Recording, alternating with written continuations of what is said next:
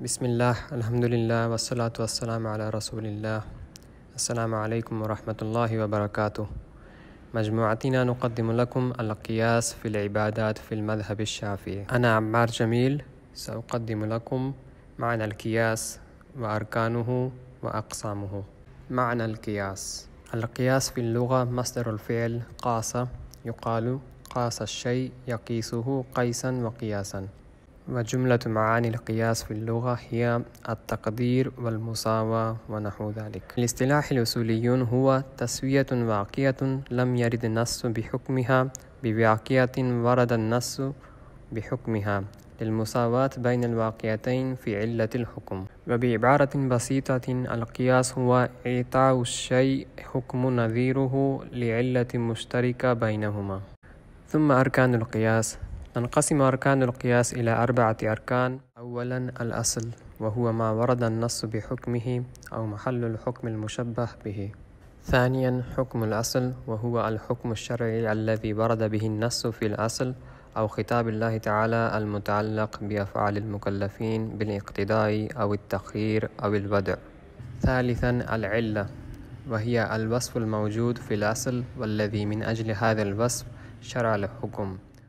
ثم رابعا الفرع وهو ما لم يرد النص بحكمه أو ما يراد إثبات حكم الأصل فيه.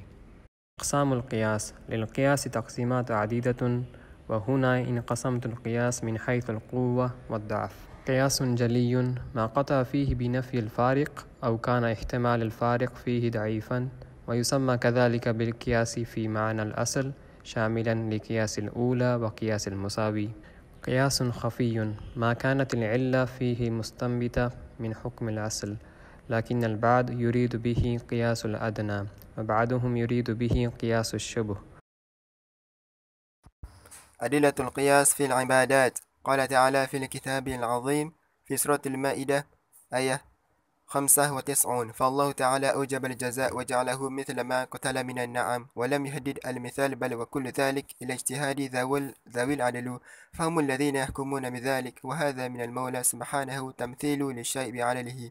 وقد استدل بهذا الإمام الشافعي على حجة القياس.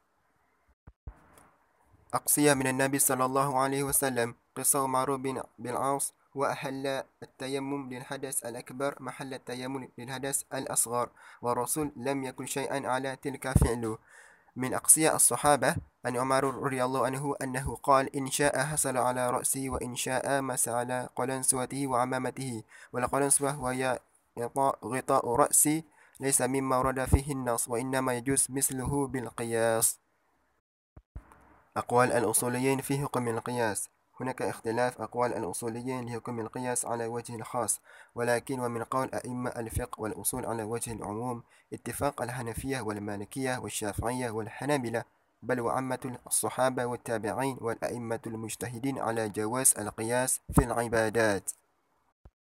حكم القياس في المذهب الشافعي. في المذهب الشافعي هناك القاعدة كل حكم شرعي أمكن تعليله فالقياس جاذب. بمعنى لكل حكم شرعي الذي في مكان التعليل فالقياس يجوز به.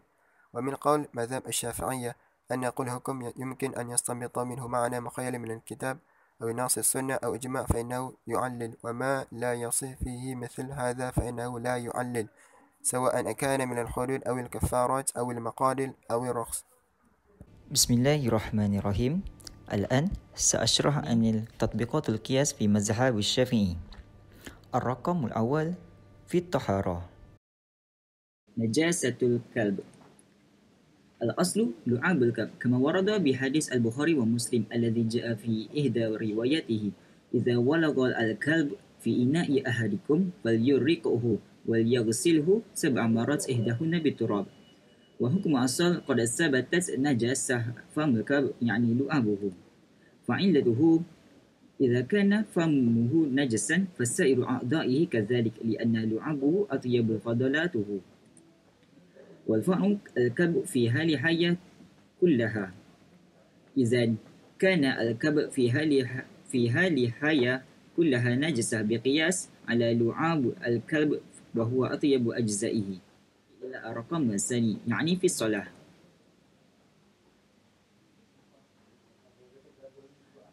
تحريم التشاغل عن الصلاة الجمعة.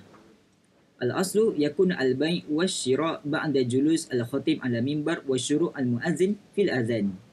كما قوله تعالى بعد أعوذ بالله من الشيطان الرجيم. يا أيها الذين آمنوا إذا نودي للصلاة من يوم الجمعة فاسعوا إلى ذكر الله وذروا البيع. ذلكم خير لكم إن كنتم تعلمون.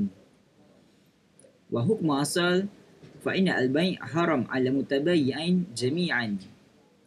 فعلته الانشغال عن السعي إلى الجمعة.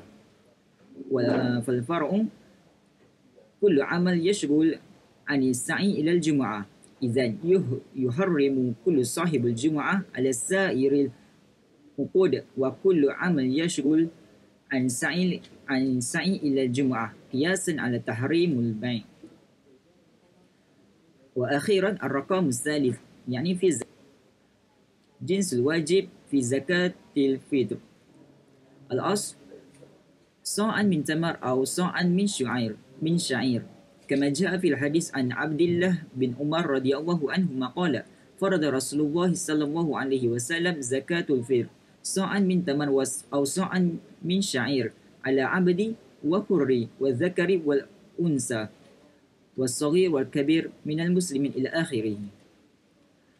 حكم أصل تجب فيها الزكاة. فعلته جميع الاختيار للبلد. فالفرع الباقي بقي بقي الأطعمة من غالب القوة قوة البلد. إذا القدر الواجب زكاة الفطر هو صاع من غالب غالب قوة البلد. من معشرات التي تجب فيها الزكاة. شكرا على حسن مشاهدتكم.